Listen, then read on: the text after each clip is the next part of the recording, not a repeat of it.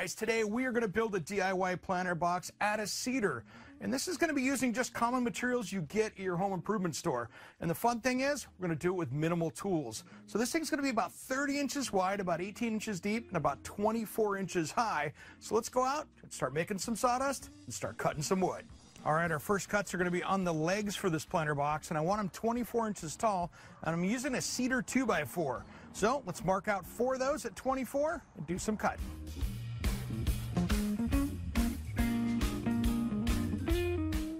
All right, the sides and the bottom of this are going to be these cedar fence boards, so it makes it really easy. I just picked up some six footers at the hardware store. So we're going to cut these at 30 inches because that'll be our outside dimension for the length of this. Makes it really easy.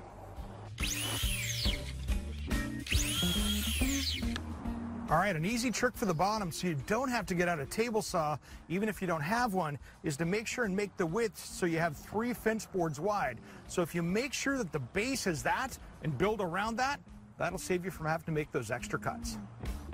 All right, one more little tip here. Right on the bottom of the pieces here that you're going to cut out, so you keep track of what your piles are. This one is the bottom. I'm just putting a simple B so I know what they are, since they're only a 16th difference than the sides. All right, a lot of these fasteners we're going to do from the inside, so this is going to really make this so they're kind of hidden. So I'm going to do is get these two by fours laid flat, and then I'm just going to set this up here so we get this spaced correctly. So this is going to be the front facing down. And I'm going to get these lined up here so we can put our screws in from the back side so they're hidden. Just want to make sure we get these square and that we don't have any bad sides facing out. If anything, you want that wood facing in that is maybe not so pretty.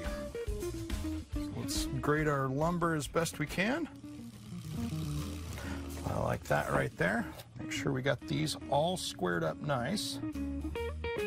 All right, now that we get this squared up, I'm gonna actually bump these 2x4s out a half inch so that way when we come around to the sides, it hides that butt seam behind it so you never see it. So I'm gonna add another half inch on the sides here. Just get that squared up. Use the front of your bench as a great squaring guide. It's a great way to do this. And you can uh, keep it straight that way. That way we don't build something racked. So that way I can hide those boards on the side there. And then I'm gonna use these uh, inch and 5 8 screws and put four in each board here for a total of eight.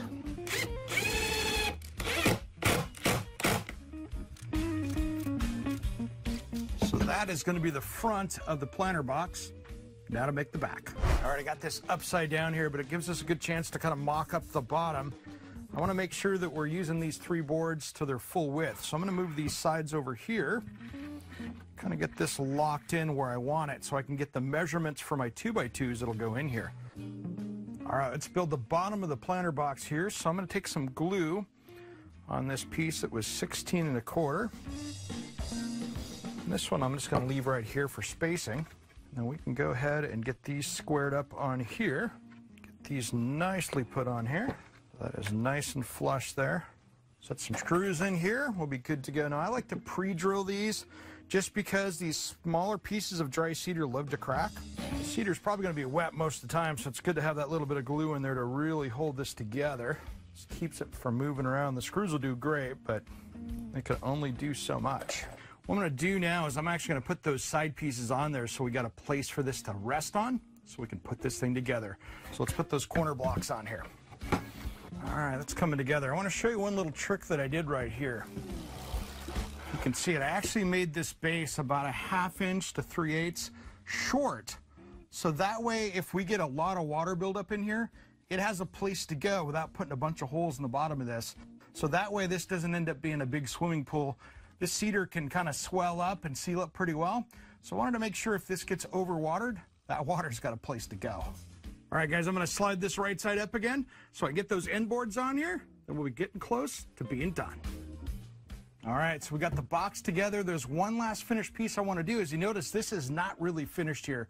So I'm going to do a one by four around the top side of here that's basically just a simple fence board that we'll miter and put around the outside. So that way, it's got a really nice finished top. Let's go to the saw. All right, let's build this picture frame. So we're going to use some glue and screws on this. It's a place that I could use finished nails, but uh, I'm going to try to get the screws to hold it together a little bit better. Just going to get some good glue on this to help hold this together. I start kind of picture framing these together with some screws. What I want to do is I want to take this, get this joined together. What I'm going to do is I'm going to actually drill this first so I can get this attached correctly because I don't want this to move around too much. These miters love to move.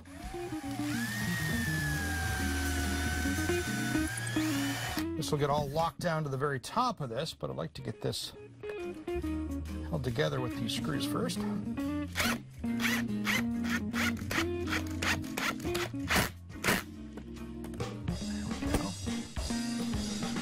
one. I'm going to do one more right down here.